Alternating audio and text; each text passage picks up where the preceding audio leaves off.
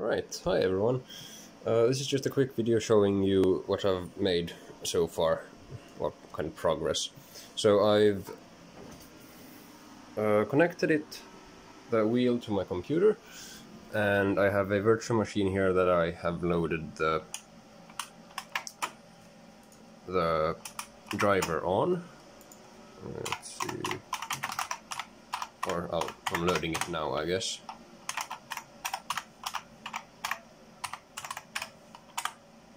Mm.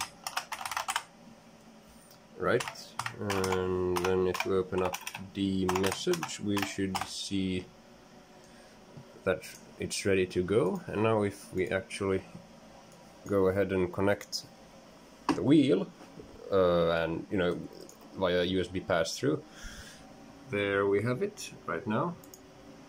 And finish. Right? It's initializing. By this point we actually get a second USB device that's called a bit differently. It's uh, called T300 RS Racing Wheel. There we go.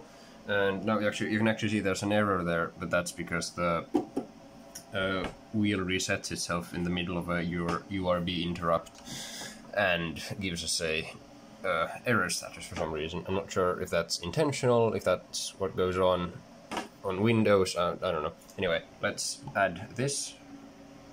And there we go.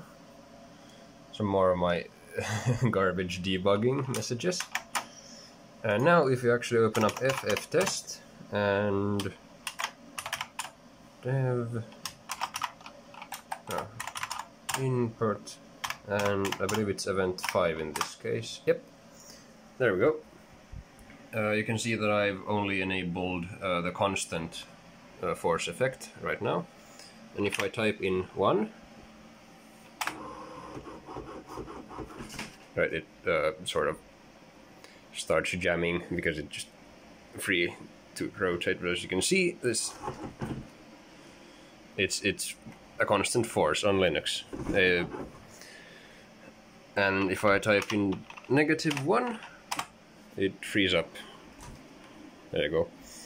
Uh, now it's not actually usable as a uh, gaming rig quite yet because it actually just knows uh, full force right and let go because those are the only, only ones I've hard coded.